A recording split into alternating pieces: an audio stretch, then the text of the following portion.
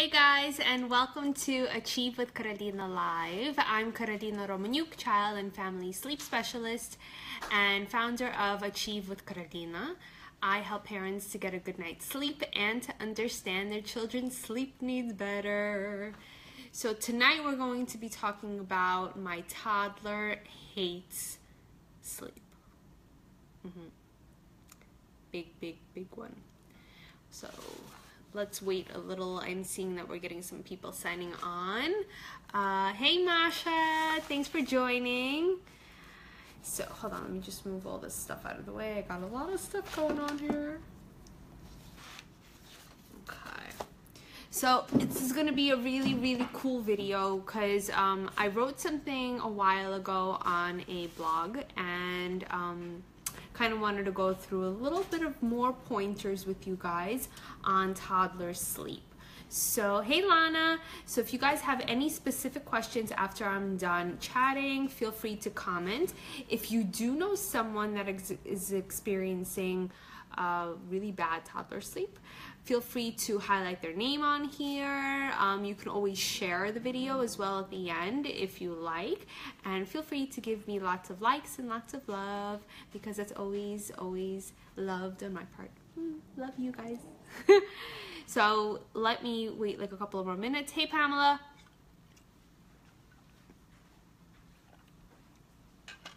so thirsty. I actually made this really cool tea um, with ginger, lemon, and fresh mint and some honey. Hey Floriana, and it tastes awesome. So it's in here. I've been drinking it all day.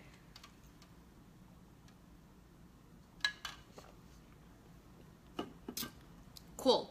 Okay, so we got a nice group tonight, and let's get started. So I'm gonna kind of read a little story for you first um, to get the little to get the feeling going. And hey, Luba. And um, then we're gonna go into the four common sleep crutches. I'm gonna explain to you what crutches are, uh, kind of ways to solve them yourselves, and uh, starting points. So tonight, hey Alyssa. So tonight is gonna be a really huge, huge video. Um, Floriana, you just left the room quickly and quietly. Shh, I'll be quiet, okay? okay, so I don't know if you guys ever watched um, The Golden Girls, but that's my favorite show. And I have found that usually my style of writing is um, interesting. I like to start it off with a storyline, um, kind of like a picture it. So if you ever watch The Golden Girls, my favorite character Sophia, and um, she always starts off with something as picture it, and then the date, and then whatever else happens, right? So that's kind of what we're going to be doing today, and um, let me walk you over through the story about it. So picture it.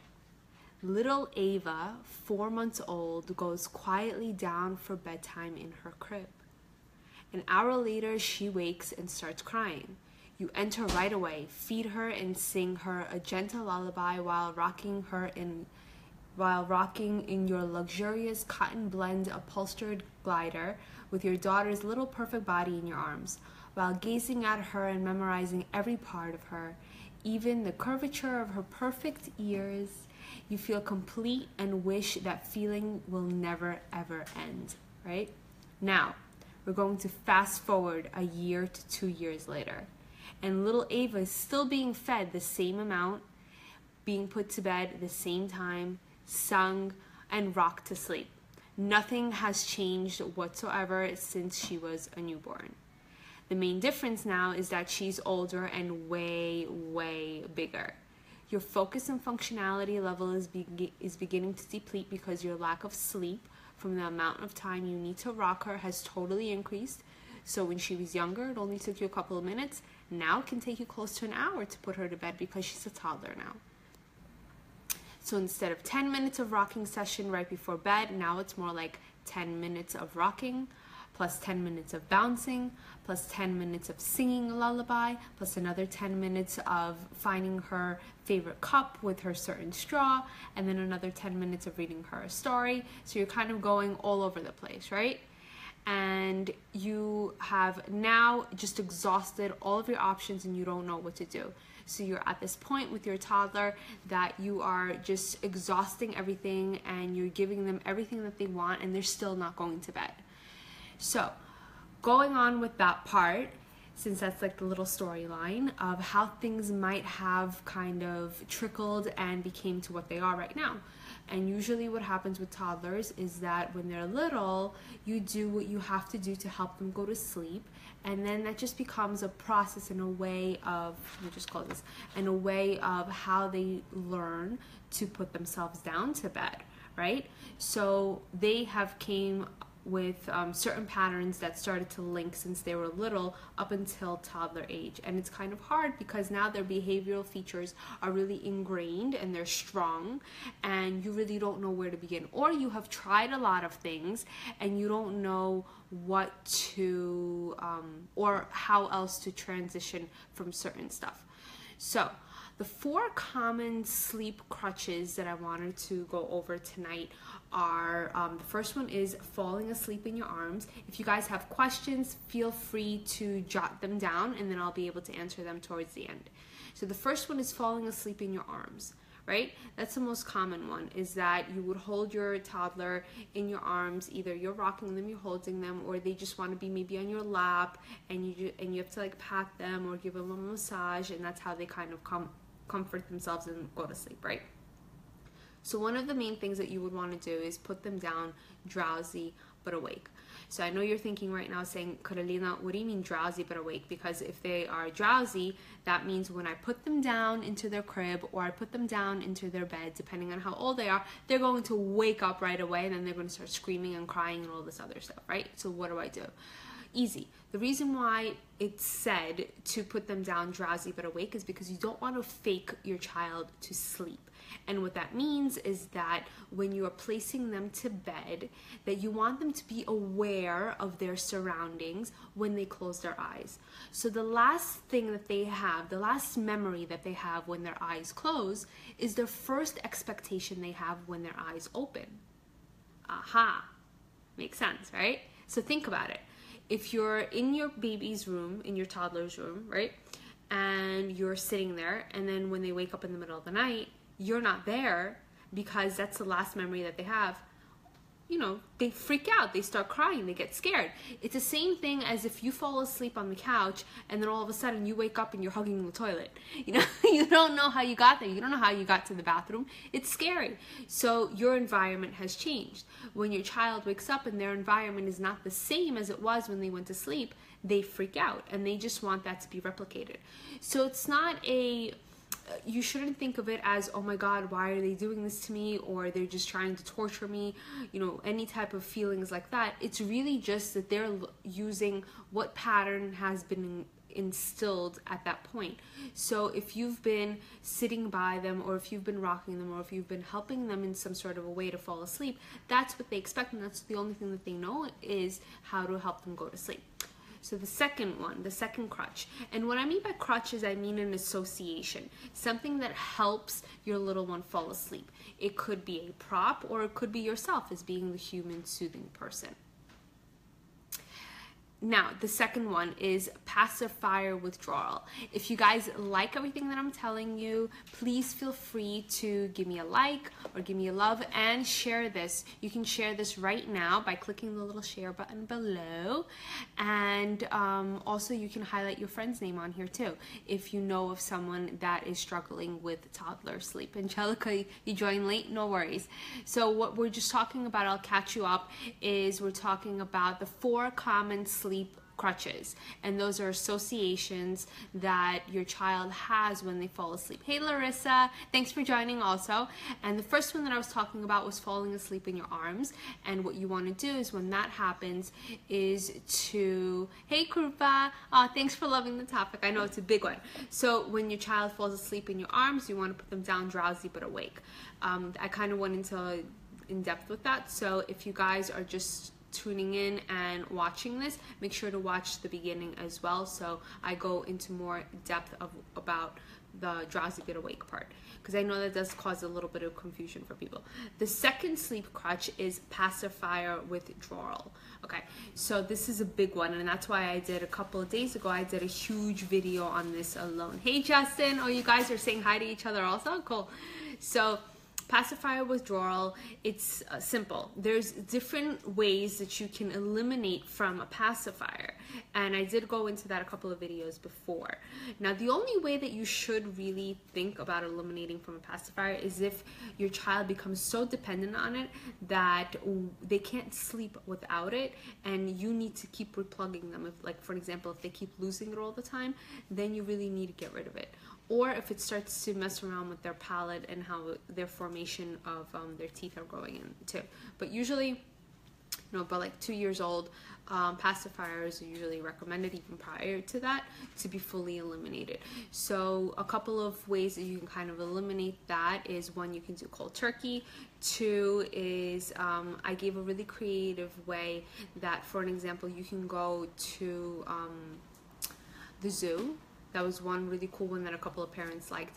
And you would tell your little one prior, oh my God, we're going to go to the zoo and they have little baby animals there that also need pacifiers. And explain to them, you know, the importance of sharing and that they are big enough and that they don't need a pacifier anymore. And then ask them because toddlers love to be asked and they love to be in control.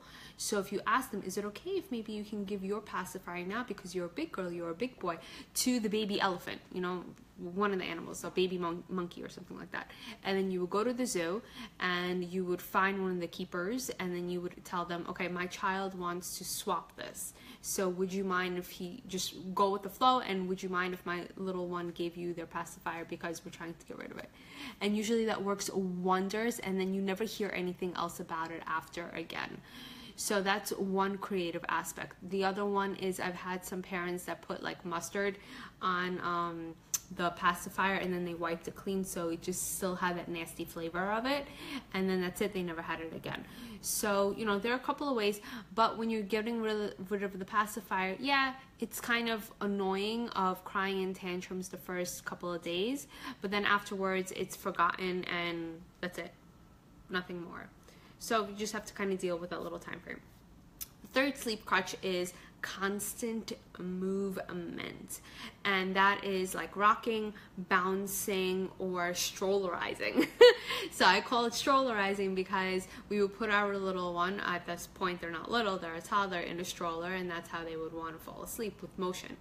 So if you need constant movement constant motion for your little one to fall asleep it's really hard for um, them to go to bed without that movement. So there are a couple of ways that you could do it. I usually don't recommend cold turkey for toddlers because I just really don't recommend cold turkey when you're trying to get rid of motion because that's what helps them go to sleep. So then what you're going to expect is a lot, a lot of tantrums and protests during that time. So if your little one is being needed to be rocked, to be bounced, to be um, you know, put in a stroller or anything else like that, what you would do is you can do a um, two things. There's one, it's uh, like a saying you could tell them. I don't really call it a mantra, but um, it's more as in a prep, a, a, a pep talk for your toddler, kind of. So you can tell them, for an example, today for nighttime, I will stay next to you until you fall asleep. Usually I hold and I rock you, but now I'm going to let you relax while I stay next to you. It's going to feel a little different, but mommy's going to be right there next to you. So you can say that and kind of, you know, enforce the calmness about it and use that as a nice way to let your child know that you acknowledge them feeling nervous when they want to go to sleep but you are also telling them that they're that we're going to try something different and we're going to see how your body reacts to it. But I'm going to be here every step of the way, and I'm going to be right next to you if you feel a little nervous, and tell them that this will feel a little different. And that's it. That's all you have to do. The other techniques that you can use are, um, for example, if you have to hold them or if you have to rock them, is you want to move gradually from that pace. So usually from rocking, what you would do is you would just pat like the tush, and then after that you would just stand in one place, and then after that you would put them into the crib or into the bed, depending you know what sleeping arrangement that they have and then just work from there and then pick a method once you already get them into the crib to do that part. But usually having the, doing a pep talk with them and preparing them for toddlers is really really really really important. You need to tell them okay tonight we're going to do something a little different and make sure you say that but then you should tell them, but mommy or daddy, whoever is part of the process, is going to be there during the entire time.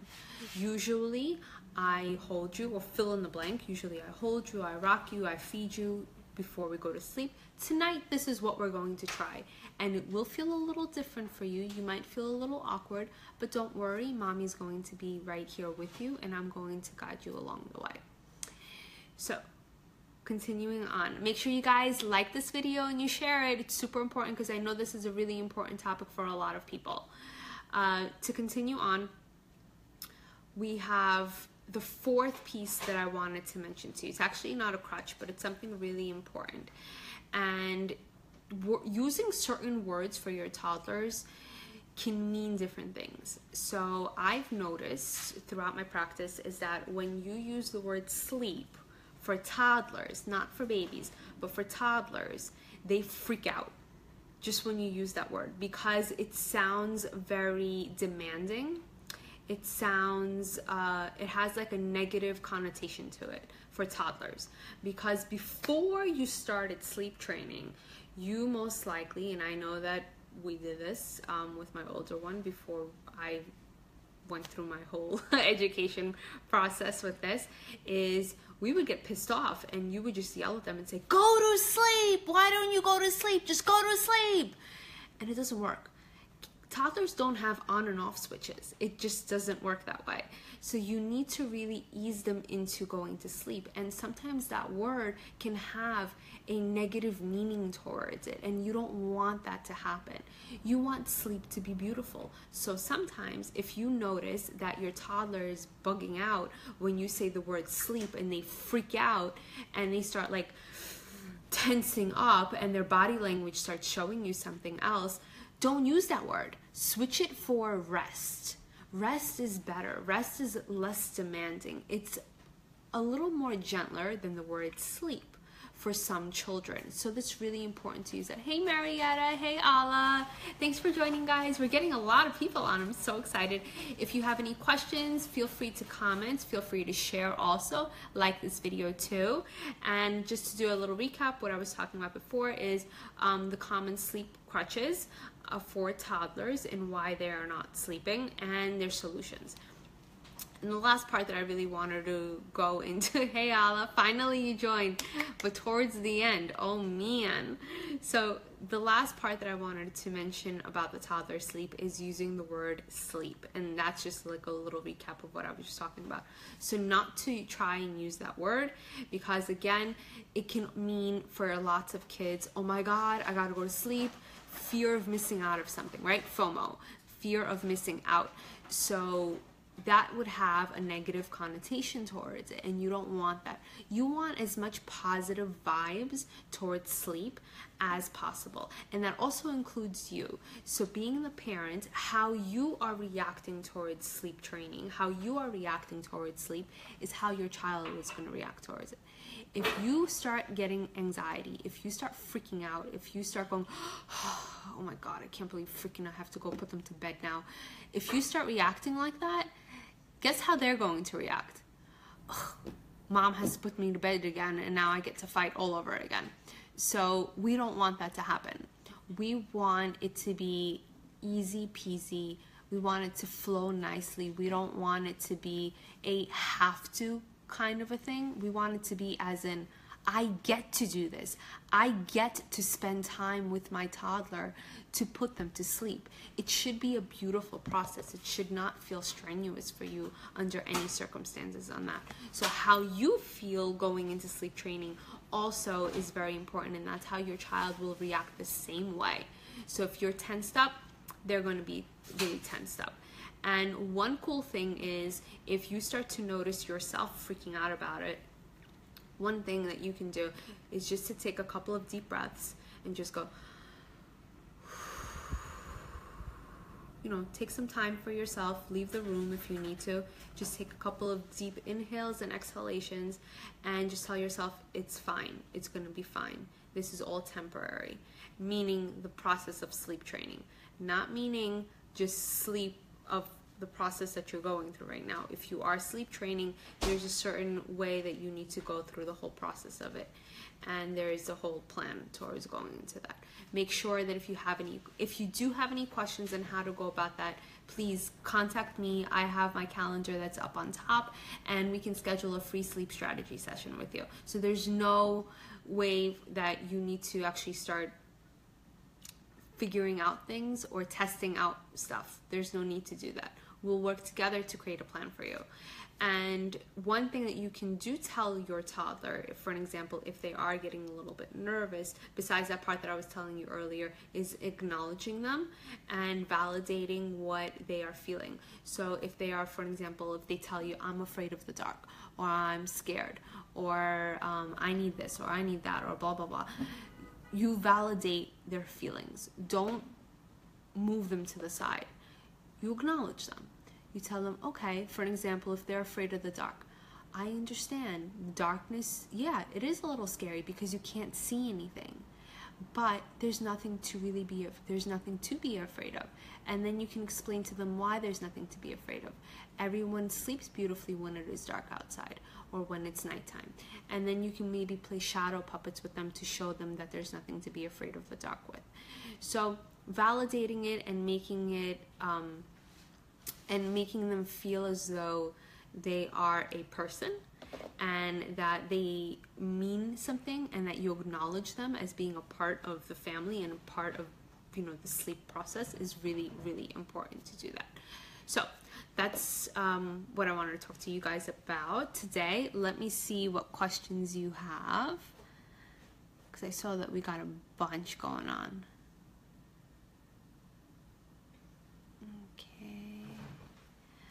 Luba says, Your daughter is two and a half and she wakes up in the middle of the night two to three times, either to drink. We went from bottle to sippy cup. So I would, um, or she just asked for the iPad. Okay. First of all, Luba, no iPad, no electronics in the middle of the night. That's just a no go right away. And um, the second part is the intake of the water. I'm wondering if she's drinking a lot and that she's also requesting to go to the bathroom often. If that is a reason, then I would eliminate the water and the drinking content. The other reason that she might be asking for that is because she knows that you will come into her room. So what you can do is you can give her the bottle, leave it by her bedside, and tell her that she can drink it herself. Now, here's the thing is that if you do that, she most likely will not reach for it and she would still call you to ask you to reach for it. My kid, sometimes the bottle, like his sippy cup, would literally be at an arm's reach, like this. Like here, here it is, and here he is, right? All he has to do is this. That's it. Just pick it up. No, he wouldn't do that. He'd yell out mama from across the room because uh, it's too much. He can't reach it. He can't reach it. Toddlers, please. Oh man, they're like another species on their own. But that can be a possibility in what's going to happen. So what I want you to do, Luba, is play a game with her during the day. Put her in her bed, tell her to show you how she sleeps, and then ask her to show you how she reaches out for her cup or for her drink. This is if she's in a toddler bed if she's in a crib, you can do the same exact thing. Is you can place her little sippy cup or her cup in her crib and have her drink it whenever she wants and make sure that during the day you practice it with her, make it like a game. Have her show you how she does it and then acknowledge her, validate it. Make it a big thing. Yay, you can do this. Now let's see if you could do this at nighttime. Guys, remember, nighttime is a reflection of daytime not only sleep, but daytime activities.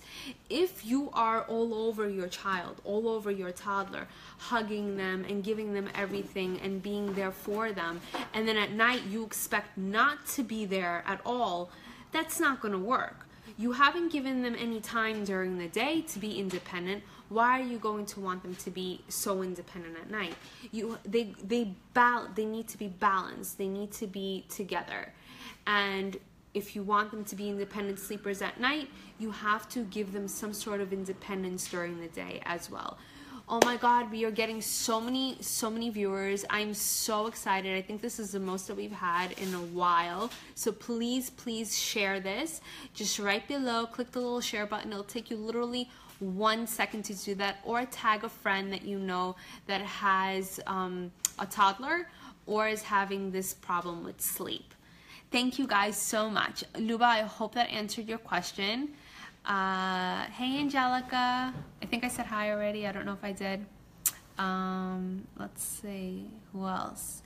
Krupa. You said this is my son's problem. He only sleeps in his swing, and then I put him in his crib, and then he sleeps throughout the night. Uh, Krupa, how old is your son? And um, he only sleeps in the swing and then I put him in the crib and then he sleeps throughout the night. That's fine if he does that at a young age. I think I don't think your child is a toddler because I don't think that he would fit in the swing. um, but if he, since I'm assuming that he's a, a an infant, that um, once you get towards the usually by four months. I don't know how old your little one is, but past that time, it will become more as an ingrained habit for him. So you will kind of want to wean away from the whole swing aspect and the motion for him to be needed to go to sleep on that part.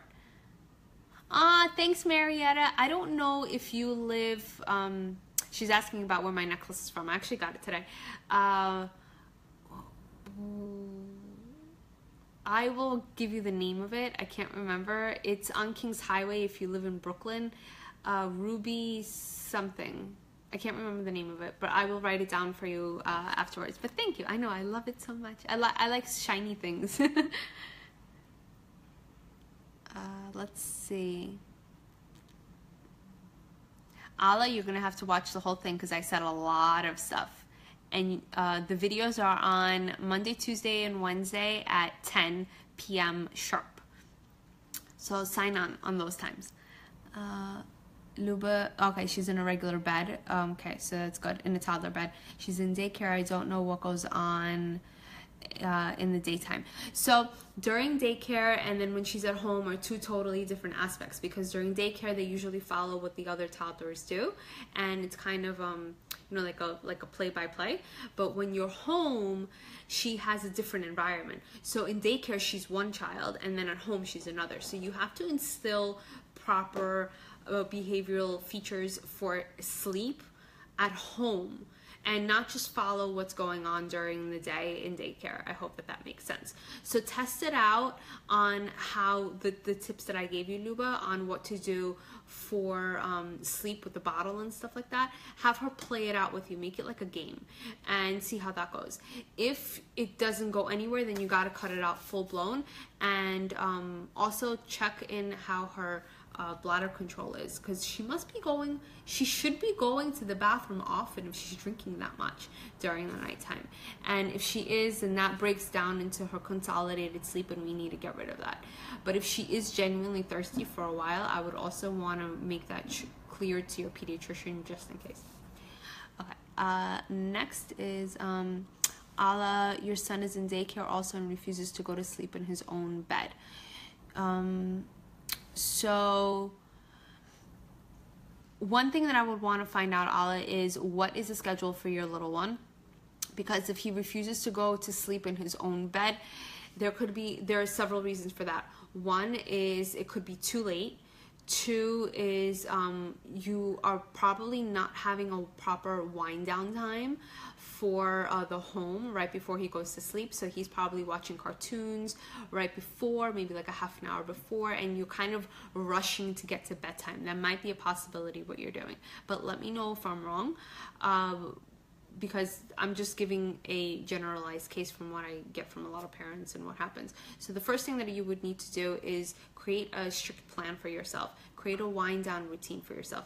A routine that you can do easily every day on a consistent basis. Toddlers need and they thrive off consistency and that they know what's going to happen on next. Uh, what's going to happen next. So if you tell your toddler, oh my god our routine from now on is going to be a little different and then this is what we're to do. We're to read a book we're to have a we're to have a bath we're to read a book we're to um, you know have a bottle and then we're to sing and then we're to go to bed. Five pieces. You could even make short it could just be three. I just kind of came up that off the top of my head. And um, repeat that every day. And then have your toddler tell you, oh, what's next? What are we going to do next? What, what, what is next in our sleep plan? And make that a big thing. It should be something interesting. It should be something fun and something that you feel and you get to do. So it shouldn't feel cumbersome or anything else like that. Hope that answers your question. Hey, Olga. Um, is there a sleep regression at two years old? Um, not, well, yeah, at 24 months there is. Uh, but what's going on with you? It depends on the children and how intense your uh, sleep deprivation is at that age already. And if they don't have a sleep foundation, then we would need to look into something else and why your little one is going through this. Because a sleep regression at that age doesn't always phase a child. It um, it can if they don't have the proper foundation set in place. And if they do, then I would want to know a little bit more about what's going on. Krupa. Okay, wow. So your little one is almost 11 months old and still in a swing. Hmm. So that's uh, you're gonna have to get get rid of that swing and um, put your little one straight into the crib. I'm wondering if he needs to be held upright and be put in motion if he has silent reflux. That's usually a huge indication for me. So I would get that checked out. If you can put your little one straight into the crib, without like going like this, like back arching or anything else like that. And they don't cry a lot, like kind of in pain almost, or scrunch their feet up, then um, you're pretty good. So it's just an association that you have if they need to be rocked or they need some sort of motion to go to sleep. If they do those things that I mentioned to you, I would want you to talk to your pediatrician about the possibility of having silent reflux. Okay? And keep me posted on it. You have you guys have my calendar. Please please feel free to use it. I made openings for all of you in my calendar, so feel free to schedule a free sleep strategy session with me. There's no reason why anybody on this thread should not be getting sleep. Cool? Okay, let's see what else. Um, Sigal, hi. Uh, what time should a three and a half year old's bedtime be? Um, and what time of what type of bedtime routine do you suggest? My son takes forever to finally go to to go to his room. Okay, so if you're a little, if you're a toddler, um, by eight o'clock, uh, usually seven thirty eight is is fine. Uh, again, it depends on if they had any type of naps during the day and um, if they did, how were they? Uh, if they were too short, if they were really long, because if they're long, then that can cut into the nighttime sleep too. But usually on an average, anywhere between seven and eight, closer towards 7.30 and 8 is a really, really good time.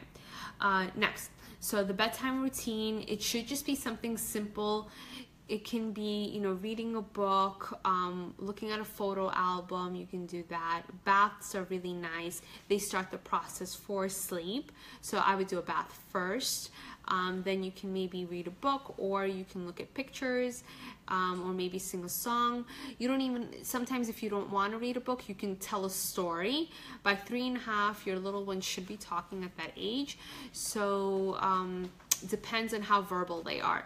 Maybe they could tell you a story, or you could tell them a story, or talk about your day. That's really good to do that. The older that they are, past three years old, they're more verbal and talking about your day, talking about uh, what was your favorite part of the day, what did you learn today, um, you know, things like that. Uh, let's see what else you could do. Um, for also what's really important, it's not even the routine. The routine can be anything. It can literally be you turn off the lights and give him a kiss goodnight and say sweet dreams. That could be a routine. As long as you do it the same day, same way, um, every day. What your main concern is the fact that it takes him forever to fall asleep is the timing and as well as the wind down time. He might need, if he doesn't take naps, he might need a lot of wind down time before bedtime. What that means is no electronics an hour before bedtime. I'm dead serious about this because any electronics, TV, an iPhone, a laptop, a computer, they emulate blue light, and blue light minimizes your sleep hormone, which is melatonin, an hour after it is turned off. Okay? So, even if you are, let's say, sitting there reading a book and you yourself whip out your phone and you're like, oh my God, let me just check my email, you know, no biggie, he's not even paying attention, he's not even watching it. No, he is. He, your child will be glancing at your phone on and off. Even that small amount can play a significant difference in how they are waking up and um, in how that they are staying awake on that part. So we don't want that to happen. You want to make sure that you are using the proper tools to help your little one fall asleep. So no electronics. You want to use dim light. You can use a dimmer if you have one, and you want to create the perfect environment when they go into their room as well. So you don't want to go from a bright light room to a pitch black room. It doesn't work that way. Our bodies need to gradually be put into the process for sleep, and using your environment plays a huge role in that. So if you go from a really bright room into a pitch black room, that's going to shock anyone's system. I mean, I don't think you do that unless you are so exhausted after, you know, pushing the limits of your sleep pressure that you don't really care if the lights are on or off. But for toddlers, it makes a huge difference. So I would play a huge, um, I would watch, I would play an emphasis on the importance of your environment and how you get your little one to sleep by using your environment as that aspect. So, no TV or electronics an hour before bed, and make sure that when they're going from a dark room, from a light room to a dark room, that it gradually goes into that. So it means, for example, let's say you're in the living room and you're reading a book or something like that, and then you want to go into the bedroom, you can use a night light and then play with a couple of toys and then start turning off the lights to do it that way. That's a gradual process that you can do that. I hope that answers your question, Sagal. And if you do have more, feel free to set up an appointment with me one on one. It's a free sleep strategy session, and we can talk more into depth on that so I can find out a little bit more about what's going on. But that's kind of like a starting point for you. Uh, Ali is saying bath at 8, 8.30 and in bed by 9 and he is still up. Sorry, uh, I didn't send it before I finished typing. That's really late, Ala. Uh, that's a no-go. 9 o'clock no-go. Um, you really need to bump up that bedtime. So I'm wondering if you are working late, that that's why bedtime is at that time. If it's not and you do come home a little bit earlier, I would highly, highly suggest to bump that bedtime early because what happens is if we miss our cue for sleep, our biological cue for sleep, you have to wait and close to 45 minutes to an hour until the next cycle goes up okay?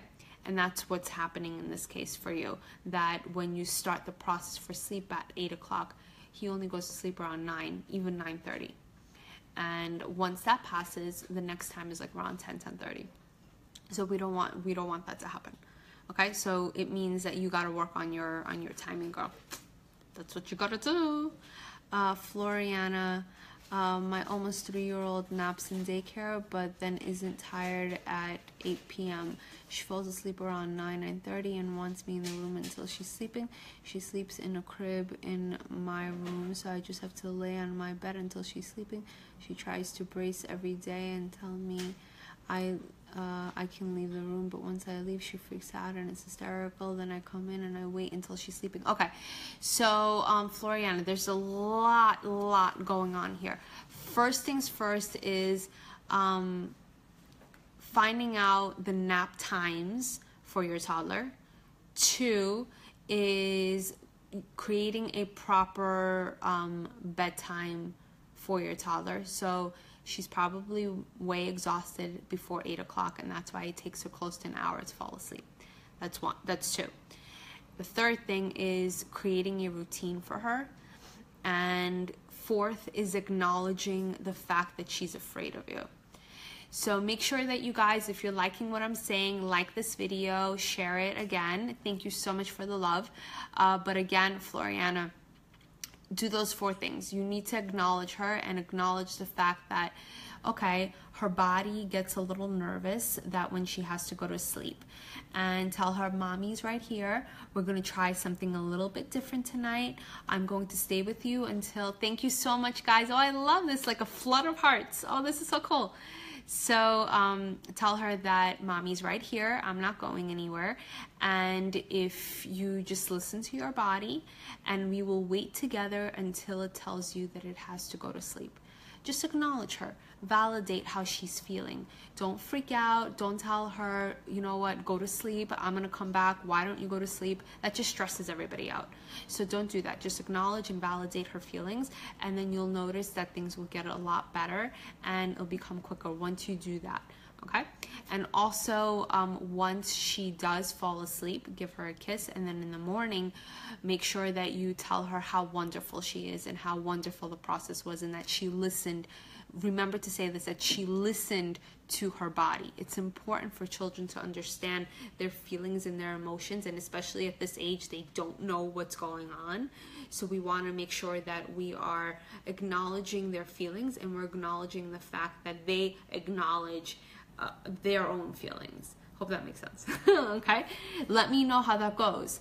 So I'm really, really interested, Floriana, in how that goes. And everyone else that I gave tips for, please, please message me, email me. I want to know how things are going out for you and if there's something else that we need to do. Oh my God, this is like a whole little stream of hearts and likes. Oh, I love this. Ah, okay. this is exciting. Uh, Krupa so I just put my son directly into his crib today and he cried for 10 to 15 minutes and now he is sleeping. Okay, 10 to 15 minutes is totally cool. Um, if it's usually past that, like 20 to 30 minutes, then we know, okay, there's something going on with the sleep process. But if it's 10 to 15 minutes, it's usually normal. Sometimes kids just need to belt out and they need to, um, release some sort like release excess energy and they would cry and that's how they would release their stress levels out that. So i've had that happen in lots of cases no biggie. If it starts to go past 15 minutes like 20 to 30 minutes then we know okay we got to look deeper and dive heavier into it and into what's going on. Um, okay. Let's see what time is it? Okay. So a couple of more will do. And then um, i gotta get some sleep okay, Sagal. Uh, also, my younger son is 16 months now. Um, he would sleep from 7 to 7. Past two weeks, he's been waking up at random times and crying. Sometimes falls asleep on his own, and other asks for a bottle. What do I do? I think he might be teething. Can that be it? Yeah, he can be teething. Um, if it's out of the ordinary and why he's crying, I would. Uh, keep a diary. There has to be a reason on why he's reacting this way. Um, 18 months is usually when separation anxiety peaks. It starts at around 16 to 17 months. So he's probably hitting the beginning part of that. Uh, the other factor is make sure that you keep a sleep diary and you see the times that he's sleeping. Thank you guys for all the love. This is so exciting. Uh, make sure that you keep a sleep diary for yourself, Sagal, and you see how the naps are. Maybe there's something has changed during that time frame when you are um, putting him to sleep. So see if there's any type of pattern that forms on that. But he is hitting into the separation anxiety part. Okay, let's see. Damn, this, oh my God, I'm so overwhelmed. Okay, hold on, let me take a sip of water. You guys are gonna make me cry with all of this love. Okay, Anita. Uh, let's see. Uh, my daughter is. Hold on, let me open this up. My daughter is going to be three soon and has always been a good sleeper. Lately, when I give her a nap from 12 to 12, uh, 12 to 12, oh my, from 12 to 2. See how exhausted I am? from 12 to 2, it takes her uh, three hours to go to sleep at night. Wow. Without the nap, she goes right to sleep. Is she getting too old for a nap? She does get cranky without it. No, she's not getting too old for a nap. My six year old still takes naps. So three is still good. What I would do is I would um, cap her nap if it takes her that long. You need to balance off sleep. So if it takes her three hours to sleep you I, I think you mean to get her to sleep at night is that is that what you're trying to say so if it does take her a long time i would need to see a diary from you. Send me one. And then we um and how about this? Anita schedule a call with me. Send me a diary. We're going to go through it together because there's a couple of things here that I'm not quite understanding and I want to know a little bit more. So let's schedule a free sleep strategy session with me so I can get a better understanding in what this three hour business is because it should not be taking you three hours to put your toddler to sleep whatsoever. Okay, so just schedule something with me. My calendar is right up on top, and let's get this figured out today, together. Hey, Patricia, that's my niece. uh, Allah, what time should I start bath? Okay, so baths are the beginning process for sleep. Baths have a time limit on them.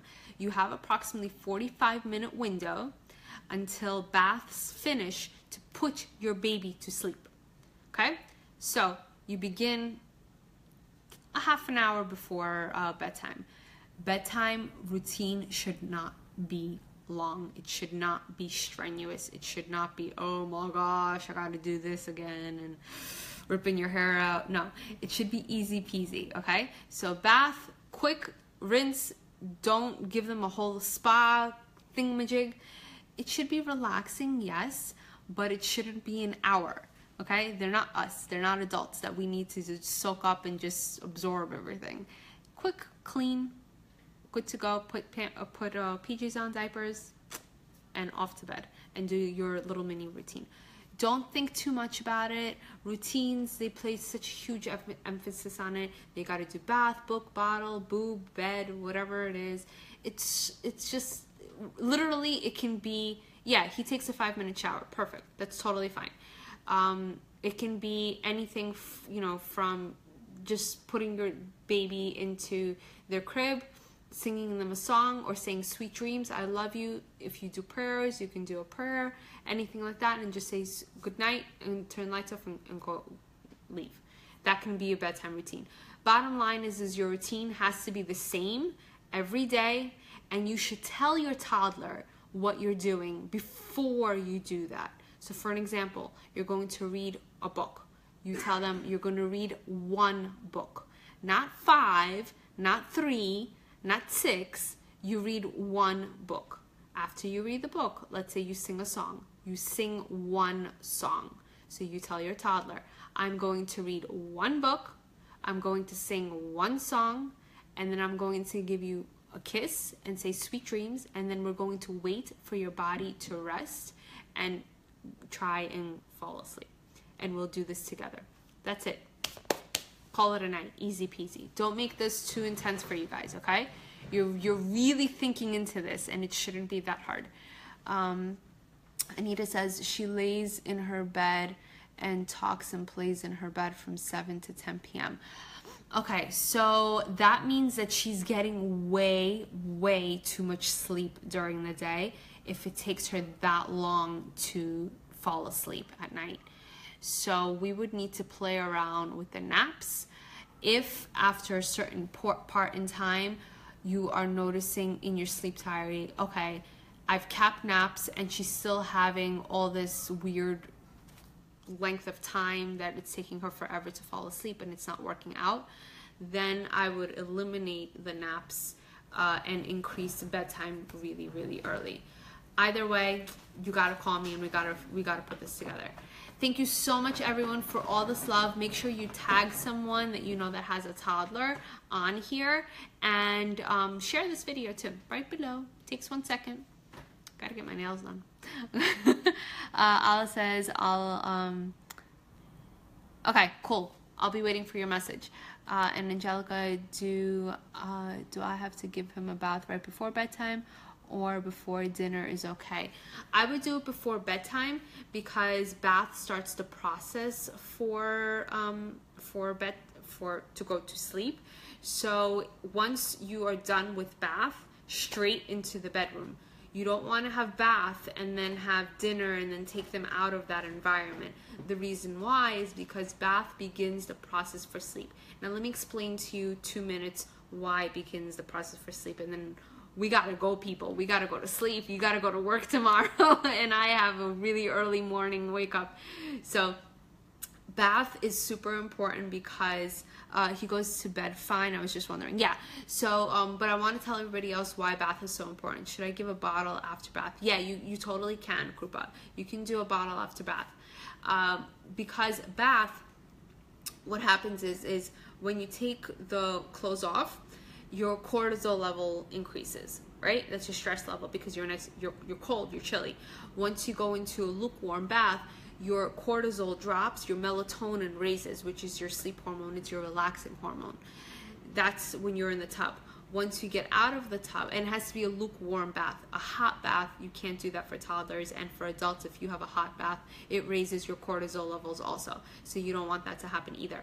And then the second thing is once you get taken out of the bath, you're cold again, like you're chilly, your cortisol increases, your melatonin drops. Once you get dressed warm, you do the massage, your body temperature increases again, that's your melatonin, and your cortisol drops. So that's the last thing that you want is you want to have your melatonin up in the air at its highest peak, and that's why it takes that time frame, approximately 45 minutes. Um, usually, like that's what I've seen for a child to go from wi- from tired to wired. Then, so making sure that right after the bath, you're putting them straight into their bedroom, and you're not going around the house or the apartment and trying to entertain them in any other way. It literally starts the process for bed, and that's your beginning to go straight into sleep time. So, uh, ah, thank you. My pleasure, Krupa. So, we're done with the video and guys make sure to schedule something with me there should be not one person on this thread that is not experiencing sleep and I want you to schedule a free sleep strategy session with me. Use the calendar. Feel free again to share this video and to include or highlight anyone's name that you know that has a toddler right now or is experiencing the same thing. Sweet dreams. Good night, Alice. Sweet dreams, everyone. Love you. And see you next week. If you have any specific topics you want me to talk about, you can either email me at it's at achievewithcarolina.com or private message me, or you can include it on here too if you have a specific topic that you want me to talk about. Okay, sweet dreams, everyone, and I love the love. Have a great weekend, and I'll see you next week. Bye.